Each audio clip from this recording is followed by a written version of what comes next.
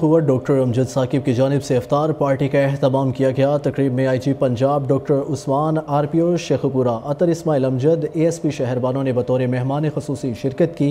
Doctor Amjad Saqib ने अपने खिताब में कहा, अखवत हमारी नौजवान नस्ल और आने वाली नस्ल का बेहतरीन रोशन मुस्तबिल है।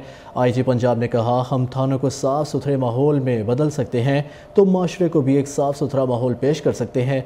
R P O Sheikhupura Athar Ismail Amjad ने कहा, अखवत एक काबिल तारीफ़ इदारे का नाम है। एस पी शहरबानों ने कहा, इंसान ही इंसान के काम आता है। मेरा और अखवत का रिश्ता कई साल पुराना है और कई सालों से अखवत के साथ मुंसलिक हूँ।